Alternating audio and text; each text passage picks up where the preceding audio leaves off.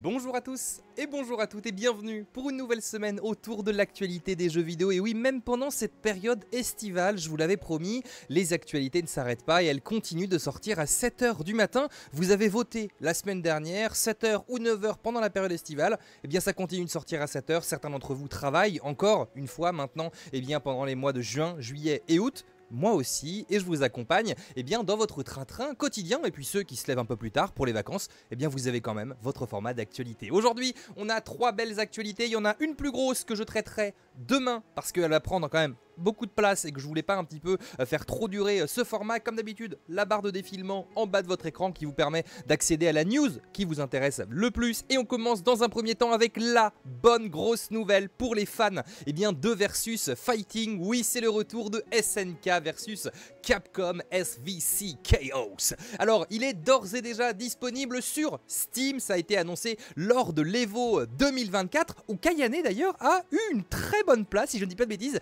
Elle est arrivée 65e. Félicitations à elle, soit dit en passant. Il faut mettre en avant aussi euh, nos françaises et surtout nos françaises qui sont dans le versus fighting.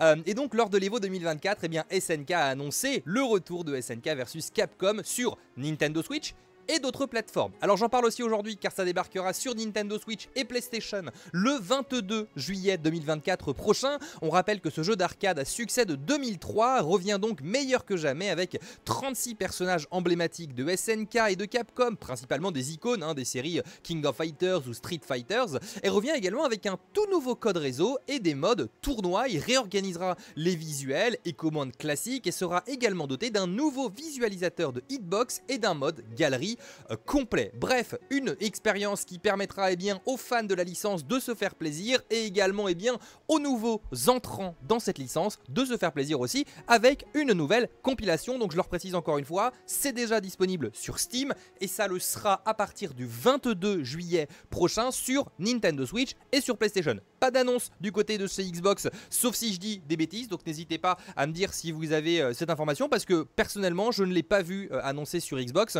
et ça m'embêterait un petit peu de passer quand même à, côté d'un morceau d'actualité, mais voilà, je n'ai pas la science infuse et des fois je rate des informations, donc n'hésitez pas euh, dans les commentaires. Deuxième information de ce Gaming News, on va partir cette fois-ci eh du côté de Pokémon Company, avec notamment, eh bien, vous le voyez juste ici, eh bien, le trailer de Pokémon ZA, celui qui justement et bien, est extrêmement attendu pour 2025, et bien figurez-vous que la Gamescom 2025 qui aura lieu entre le 21 et le 25 août 2024 en Allemagne, alors je sais, c'est à Cologne, je crois que c'est à Cologne exactement, et bien figurez-vous que Pokémon Company y sera. Alors, on savait déjà que Nintendo ne serait pas à la Gamescom cette année, qu'il n'avait pas grand chose à y présenter, voire même rien à y présenter.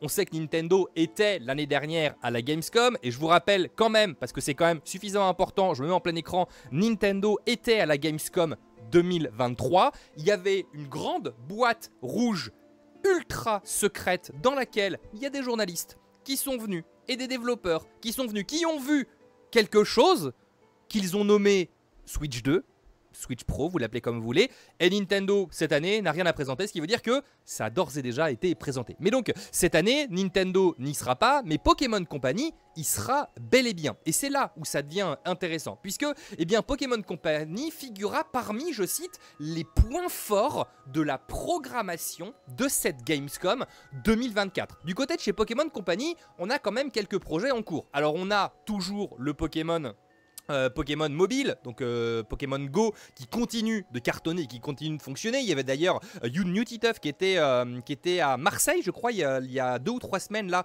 pour eh bien le nouvel event de Pokémon Go. On rappelle également qu'il y a Pokémon Sleep qui continue de fonctionner, qui a généré, je crois, quasiment 10 millions de dollars sur sa première année de commercialisation. Donc on est sur un quand même un truc qui fonctionne euh, plutôt pas mal. Et bien évidemment, on attend le prochain opus de la série. Pour l'instant, pour 2024, on n'a aucune annonce d'un jeu Pokémon, alors qu'en général, on a toujours un Pokémon par an qui sort. On sait que ce Pokémon ZA, Legends ZA, il sortira en 2025, mais est-ce que Pokémon Company va nous réserver un Pokémon Present durant la Gamescom avec, eh bien, en étant le point fort, je cite, euh, un point fort, pardon, de cette programmation, avec notamment un remake ou je sais pas, un Let's Go Evoli, un Let's Go, un Let's Go Argent et Let's Go Or, je sais qu'il n'y a pas beaucoup qui l'aimeraient, mais je l'aimerais particulièrement personnellement pour la Nintendo Switch, eh bien c'est la grosse question qu'on se posera. On rappelle que durant cette Gamescom, on y verra notamment eh bien, Square Enix, THQ Nordics, Ubisoft, Xbox, Sony, Bref, beaucoup de monde, Bandai Namco qui sera là euh, également, Bethesda, Blizzard, Capcom, 2K, Sega,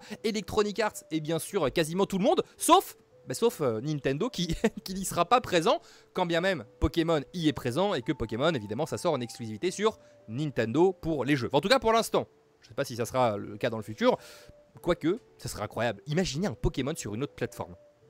Ça serait incroyable. Bref, je ne pense pas, puisqu'ils ont quand même des accords avec Nintendo, donc ça serait un petit peu compliqué. Et puis, eh bien, pour terminer ce Gaming News, et c'est sans doute la news que vous attendez le plus de ce Gaming News, Link sera jouable dans le prochain jeu Zelda dédié à Zelda. Alors, bon, je vais pas vous cacher que quelque part c'est rassurant pour les fans de la licence, pour ceux qui voulaient absolument jouer Link, et quelque part c'est un petit peu triste pour ceux qui espéraient que la princesse Zelda ait enfin un jeu dédié elle. Je vous rappelle que Zelda Echoes of Wisdom a été annoncé lors du précédent Nintendo Direct, qu'il est classé comme un jeu 10+, par le SRB, et que c'est un jeu dans lequel on va jouer la princesse Zelda, qui permettra eh bien notamment d'invoquer des objets, d'emmagasiner des objets avec un bâton magique, et qui permettra du coup de les euh, ben, d'invoquer des monstres également. On pourra eh bien tout simplement récupérer des monstres avec cette baguette magique, on pourra tout simplement se battre avec ces monstres invoqué via cette baguette magique. Et c'était bah, finalement un jeu qui, depuis les Zelda CDI, permettait enfin d'incarner la princesse Zelda. Alors on avait pu l'incarner déjà dans Hyrule Warriors, mais c'était complètement euh, différent. Eh bien ici, c'est un jeu qui semblait dédié 100% à la princesse Zelda. Sauf que, eh bien, entre-temps, le classement de l'ESRB, si vous voulez, l'ESRB, c'est un peu comme le PEGI chez nous, c'est-à-dire qu'ils vont classer les jeux, savoir à qui ça va être dédié, et en général, ils sont obligés de regarder les jeux en avance. Quand un jeu est classé, c'est qu'ils l'ont déjà vu, un petit peu et que l'éditeur a été obligé de lui en parler. Et donc dans ce classement ESRB, on a un texte précis qui nous dit, et là je cite le SRB, il s'agit d'un jeu d'aventure, donc pour effectivement ce nouveau jeu Zelda, d'un jeu d'aventure dans lequel les joueurs incarnent Zelda alors qu'elle tente de dissiper les failles à travers Hyrule et de sauver Link. D'une perspective de trois quarts de hauteur, les joueurs explorent divers environnements tout en combattant des ennemis stylisés, par exemple des humains ou des créatures, et en tant que Link, les joueurs utilisent une épée et des flèches pour vaincre les ennemis. Et donc là, évidemment, on lit le classement ESRB, on se dit bah en fait, ça y est, ils nous ont vendu la mèche. Link sera bel et bien jouable dans ce jeu Zelda. Ce n'est pas tout évidemment, mais voilà. Alors, bonne nouvelle ou déception, vous me direz dans les commentaires. Il continue en disant Zelda peut utiliser une baguette magique pour invoquer des créatures, par exemple des chevaliers mécaniques, des soldats cochons, de la boue, etc. pour la bataille, et certains ennemis peuvent même être vaincus en étant incendiés. D'autres créatures se dissolvent dans la brume lorsqu'elles sont vaincues, et les séquences de combat sont quelque peu frénétiques avec plusieurs ennemis attaqués et se battant en même temps. Donc ça, c'est aussi une bonne nouvelle. Maintenant, la question est de savoir si le personnage de Link sera jouable simplement par petits morceaux. Par exemple, vous savez que dans cette bande-annonce, on voit que Link disparaît dans eh ces fameuses faille, il est aspiré dans la faille au début de cette, de cette séquence, et je vous invite également à aller voir l'analyse qu'on a fait de ce trailer, parce que c'était assez intéressant. Donc est-ce que on va jouer Link dans des séquences où on est dans la faille, où on permettra peut-être à Zelda de nous retrouver petit à petit, ou alors on se sortira de certaines panades petit à petit? Ça c'est la question. Ou alors est-ce que ça sera simplement la séquence du début? Genre on incarne Link, on arrive devant les boss, on se fait dessouder, on, disparaît et paf, on incarne Zelda pour tout le reste de l'aventure. Ça, malheureusement, le SRB n'en parle pas plus que ça. Évidemment, ils ne peuvent pas donner toutes les informations, mais c'est la grosse question qu'évidemment euh, on se pose et que je vous pose également. Vous me direz, qu'est-ce qui vous conviendrait le plus? Est-ce que vous accepteriez de jouer Link simplement au début et après totalement Zelda? Ou est-ce que vous préfériez jouer Zelda globalement avec des petites touches de Link par-ci, par-là. Personnellement, je trouve ça un petit peu dommage. On a enfin un jeu autour de la princesse Zelda et malheureusement, on sera obligé de jouer Link.